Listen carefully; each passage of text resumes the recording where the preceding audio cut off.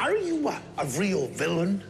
Well, uh, technically, uh, nah. Have you ever caught a good guy, like a like a real superhero? Nah. Have you ever tried a disguise?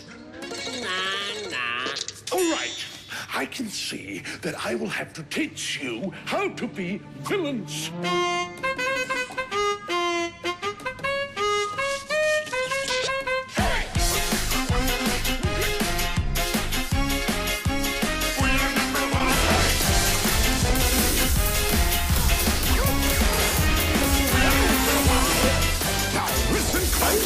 A real villain. Here's a little lesson in trickery.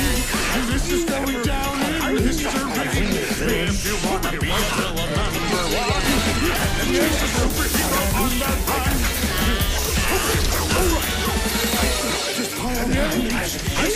And how be careful not to. The, uh,